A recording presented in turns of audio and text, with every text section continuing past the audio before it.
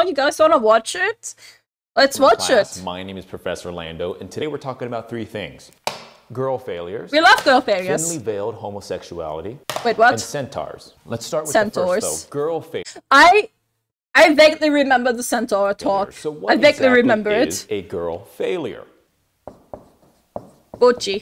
Bocchi the Rock. Okay, so what we I have have here are three never examples seen of girl Oh, failures. We- oops. I have never seen um the the circus, the the, the circus thing. I, I don't remember what it was called. Digital Um, Circus, That one. Bugsy that the one. Rock, and Kobeni from Chainsaw Man. We have a Hi, sense Professor of Lando. Yes, hi. from these faces in the eyes. Yeah.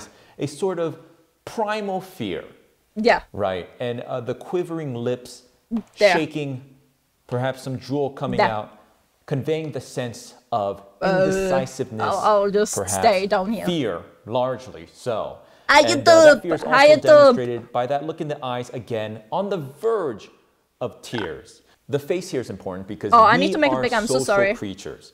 We look at each other and we look at the face. We look at the facial expressions to determine I love whether this Bocchi. person is friendly, I love Bocchi, the whether Rock this Man. person is dangerous, and this is embedded in our DNA. When we were primitive creatures, we were using facial expressions to communicate. If we were just apes, we would go, we would use our face, show our teeth, we would communicate that way. Kitsune is a girl failure uh, example. I am, bro. I am such a fucking girl failure example, man.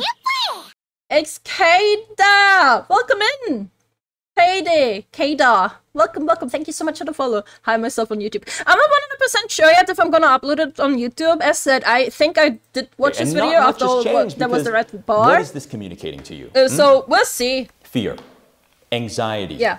Uh, uselessness, yes. on the verge of mental collapse. And that's the I guess it's pe- people just being able to relate to it. Why it's so popular, man. key with girl failures here not full mental collapse Potential future not self. complete lunacy they're not quite being checked in to arkham asylum just yet but just on the verge a What about mods? away well, Boch- Bocchi here might be fully there, but Ko- Kobeni, some some humanity left trying to uh, I don't know what exactly. I never but liked Kobeni. Fear At least not from the anime really episodes. separate girl They're just like me for real, for real.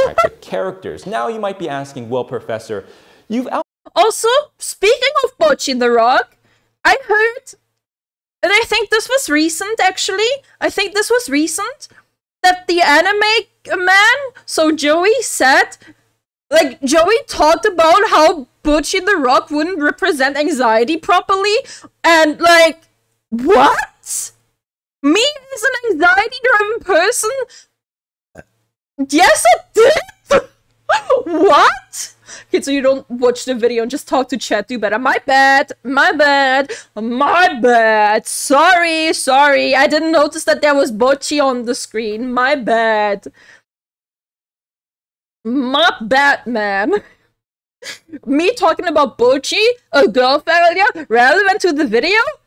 Huh? What? Impossible. Impossible. Focus. Hey, das for, for real. For real, for real, chat. For real, for real. Um, yeah, so have you guys thought about uh, Joey saying that? Like, that's crazy for me. I might look into that after this video again. I wish I, I had a snack. Quite pathetic traits so far. I don't know how this connects with being popular, with being well liked. Why are these characters? They're relatable. Like, you want to protect them. You want to help them. Why are they so popular? Well, let's first take a look at a formal definition of girl failures. I believe the term girl failure has its origins, like many other words and terms, from Tumblr, but its popularization comes Oh. in the form of a tweet. This tweet is coming from Rory at X Force Apologist. Thank you, Enough thank girl you. bosses. I need girl failures. Just Legit! an absolute loser of a Yeah. female character. Yeah. More women who suck. Maybe he couldn't Me relate. too, buddy. Looking back at our examples, they are nervous. They are unable to cope with their situations. They're unable to make decisive decisions. They break down. They run away. They are failures. But why? They're real. absolute They're real. Why are these characters so popular? In They're real girl relatable. Failures, let's take a look at another word. Baby Very girl. much a Tumblr-esque word, similar in line with girl failures. the baby girl. The only thing I can think about is when I hear baby girl, is Joel saying it to Ellie, man. And when Joel called her baby girl, oh my god, my heart melts. My heart melts so much. Now, the baby girl is, quote, a term of endearment used to describe attractive or cute men, including fictional characters from various fandoms in an infantilizing way. Why then? Why do people like these characters? Men want to be reliable, that's why they're so popular. Yeah. Okay, this is a graph Birth of rates? birth rates in the United States from 1950 to 2023. Why are we looking at birth rates? coming from the United Nations World Population Prospects. So what can we see here? Well, an obvious decline. I don't think you need Baby girl. I remember a stream I was watching last night of a sad girl throwing a so-called tantrum that weekend on stream. Okay. The hell? And like is she usually like in the baby girl trope and what did she throw the tantrum about? Like, huh? The decline is because anime and VTubers became a thing. That's what it reminded you of? Okay. graphs to know that people in general are having less kids, or rather, no kids at all. So what Yeah. does this Kids are expensive. about girl failures and their popularization? Well, I have a theory. We are not convinced of the sort of traditional outlook on family any longer. People are Yeah. just simply not having kids. But Yeah. we're What? only human, and humans are driven by the same Look, natural instincts Usman, higher. that our primitive ancestors were driven by. Australopithecus, Lucy in the sky, with diamonds. Yes, we are animalistic, primitive beings driven by our instincts. And I think if you look in the biological world, one of these instincts is to breed. Breed. okay, okay, I'm letting him cook, I'm letting him cook. Kitsu's to blame for all the German birth rates going down. Clearly. Personally. Personally. De- Oh, I Pedro Pascal, there he is! That picture of Pedro Pascal, I can't even uh, can't even remember my point. Girl failure. Example. Told you, Polly Jules, baby from girl. The amazing digital circus, the indie YouTube animation. Baby girl. Example. Pedro Pascal, the Chilean American actor rising He is a baby girl! into prominence for his role as Hold Oberyn. Martell in Game of Thrones. What do these two people have in common? Well, the conclusion that I'm drawing here, class, is that we have created girl failures, baby girls, and have taken various people and characters and categorized them I mean, have you guys seen the guy? Have you guys actually seen Pedro Pascal? Like, I, I guess no, no, it does make sense because he is such a cutie, man. He is such a cutie that you just want to protect. No, no, no, I get it. No, I get it. He's absolutely right. Like now that I'm looking at, it, he's absolutely a baby girl. No, no, no. Professor Lando is cooking. Pedro Pascal is absolutely a baby girl. I just, I do just want to protect Pedro Pascal. Have you guys seen that guy smile? You just want to help pet him and put him in a box and protect him from all the bad things in the world. deem them as so because we as humans, as animals, have this latent desire to breed, to have children, and to Sure. take care of said children. But Yeah. we're smarter than that. Are There's we? a lot of reasons, economic, cultural, that keeps us, that makes us say Have you no. seen his thighs? I don't want to No. have children. But I But think that that They said the following biological trigger, sign. that desire to breed that's in us all, bubbles over, and it portrays itself. It comes to fruition in this displacement of wanting to take care of these characters in Okay. place of actual children. Okay, class, uh, girl Ah. Yeah, so what I said, you just want to take care of them. on the exam, so please make sure to Okay, study up on that. okay, The next thing we're going to be talking about today, the cosplay paradox. Now, this is a hypothetical thought experiment of my own design, but I think there's some very key information that is of significance to us. Imagine your bro, your friend. Mm-hmm, Oh, no. Oh, I think And I for the sake remember of this. Oh, model, we no. Oh, no. a level of attraction 0 to 10. I want to blame MatPat for Petra's eye. I don't think I've seen that video. Oh god. Oh no. 0 being absolutely no Oh, no. Oh, And 10 no. being very, very, very attractive. Oh, no. Let's say you have your bro and you ask him to wear a cosplay. Are we getting to tomboys now? No. For the sake of this model, let's say it's an Astolfo cosplay. And now your mhm. bro is wearing Suddenly your Astolfo bro was hot. Now, that's not your bro. That's your bro. That's Astolfo. Yeah, and now that's if we take a look at the attraction here. I would went up to 10. Definitely markedly more. Without a shadow of a doubt. Yeah, If you okay, take your maybe bro, it went up to seven. Let's say it went up to in te- any seven. degree, a zero, and they wear an Astolfo boys. cosplay, that number is going to go up. 100%, Now, yes, it's going up. degree it's going to go up, but let's settle on a middling value. Let's just say my attraction now to this Astolfo cosplay Let's say seven. is Five. Oh, come on, that's a little now bit this low is for where your the bro. conundrum takes play. This is where the paradox occurs. Mm-hmm. Let's say that your bro, this Astolfo cosplayer, It's just a tomboy, yes. removes part of the cosplay, undresses, Oh, but still oh. retains remnants oh no! of the original cosplay. You would now see Now, uh, an un. is it your bro or is it Astolfo now? dressed Astolfo, which, if you take a look at attraction, markedly increased, let's say, to a 9. Hell, let's just say a 9.5 for sake of argument. Oh! A naked Astolfo is markedly more attractive. But this is where the paradox comes into play. Somehow, less cosplay, because there is no longer any clothing except for the thigh highs. style- We've got to keep the thigh high. But here's Yeah, the you gotta keep the thighs, he's right. that we're seeing here, you would say that the less cosplay that there's is a whole- there's a the go- oh my God, the more attractive it is. But there is a critical point, a turning point. Upon removing the final articles of the cosplay, Oh no. that's just your bro. That's Bro, just your bro. no. He's naked. Oh, no. All of a sudden. What did I do? gay. Okay, students. So I wanted to talk about one last thing here. Uh, All of a recently, sudden. something's come up in the intellectual discussion, and it involves the topic of centaurs, which is something that we've discussed at length here. Centaurs. the controversy is the recently there has centaurs. been a new addition to the archive and uh, collection of centaurs, and that is this. What you see here, I know. Calm down. This calm is down. We so we cursed. it. This is so Uh, this cursed, cent- chat. Look at this. I've seen that when it came out. Like, look at this, chat. Look at this.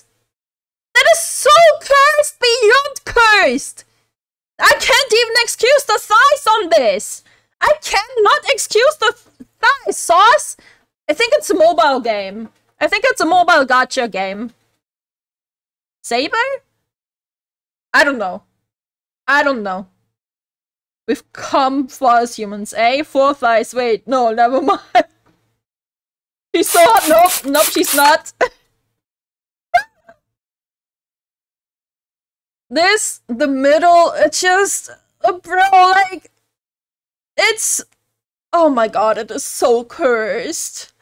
Ugh. just, I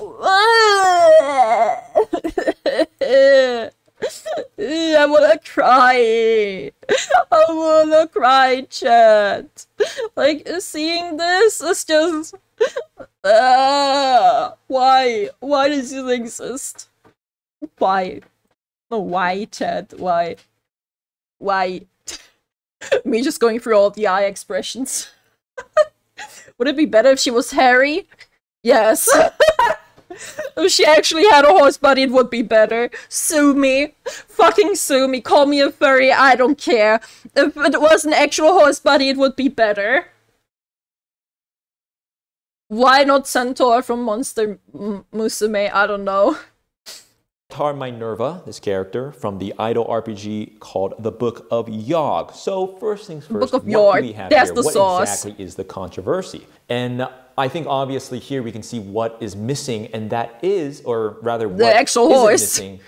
There is skin, where should Yeah. be Horse. a oh, horse's hair, to be exact. There is no horse bottom.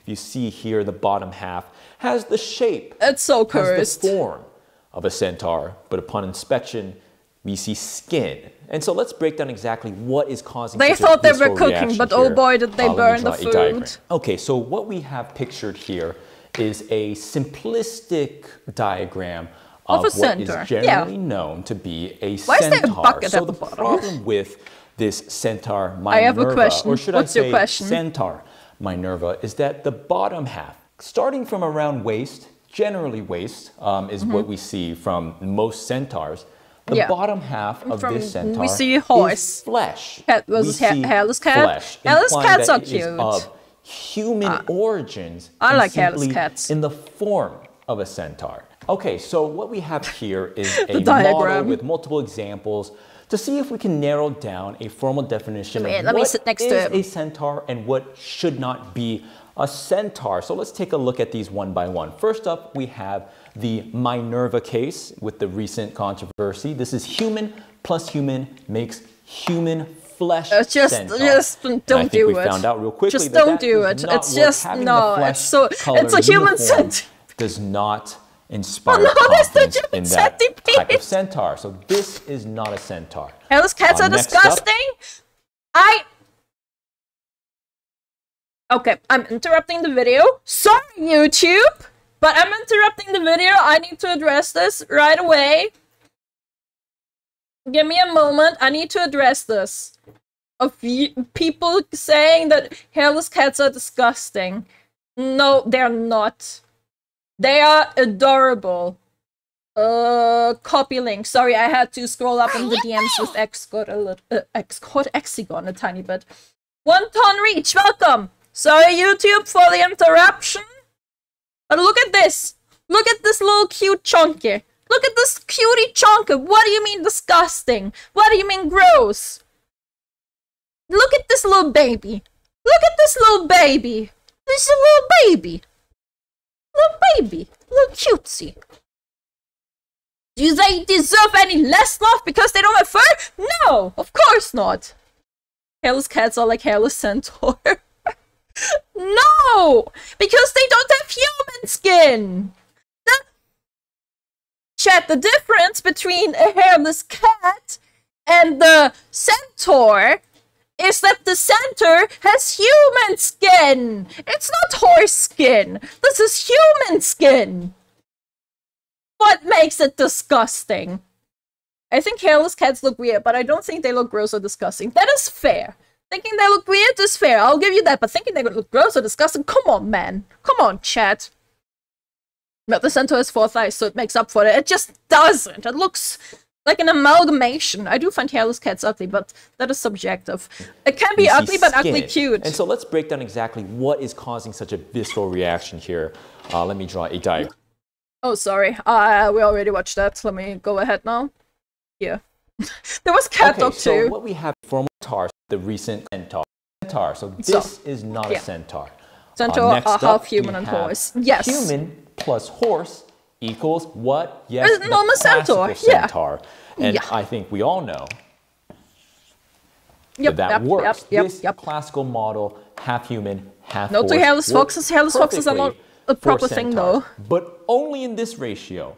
If you flipped it, as you found out in one of my previous lectures, with top horse, bottom human, that doesn't Wait, work what? well. Well, so here we have horse plus horse is illegal. That's illegal. Yes.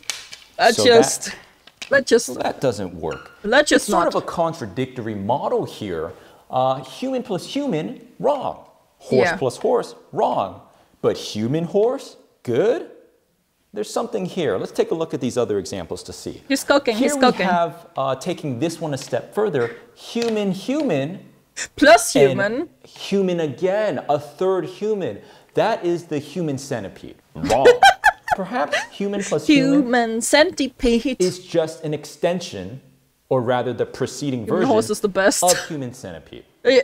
And that's why when we see the uh, flesh-colored uh, consistency, uniformity Cat dog- of cat dog was uh, amazing, the yeah. Minerva character from the uh, game book of Yog, That's why people are having such a negative emotion. Anything that even remotely resembles a human centipede situation is going to be frowned upon. Here we have cat plus dog equals cat, Cat dog. dog. Uh, this is the character from the popular children's show of the same name, Cat Dog. Cat when we dog, look at this, cat dog. they are A line of the world. conscious beings. A line of the world, However, the kind of cat I dog. am thinking this is not really a centaur. No, However, it's in the next example, we have half a human and That's just- half a human.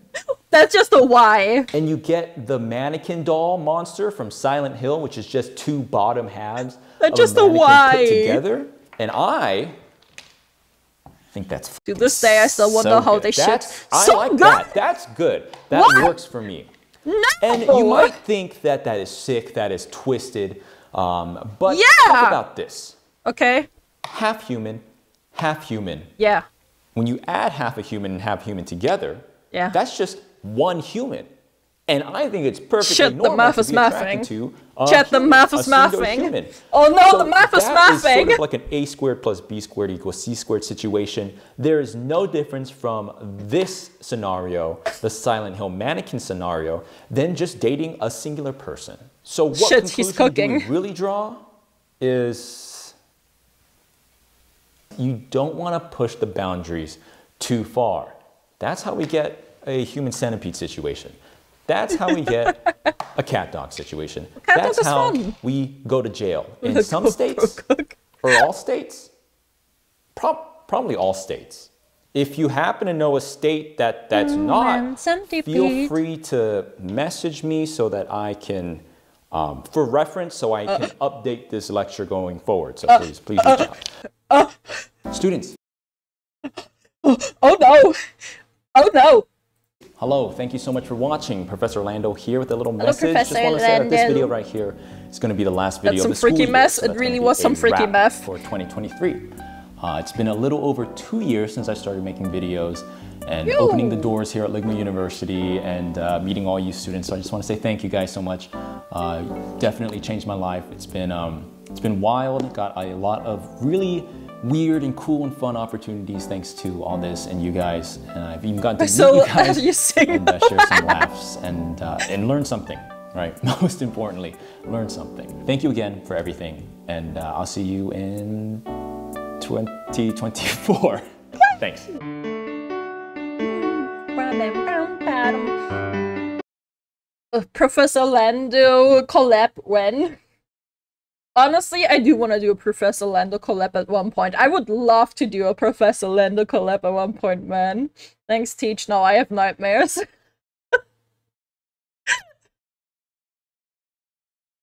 my imagination during this video scarred my mind. Oh no. Oh no.